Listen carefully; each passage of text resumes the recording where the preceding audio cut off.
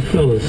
We're celebrating 25 years of swinging on live from Jazz at Lincoln Center. This week, the one and only Carlos Henriquez, bassist with the Jazz at Lincoln Center Orchestra, has a very special show for you featuring the music of legendary Cuban bassist Cachao Lopez.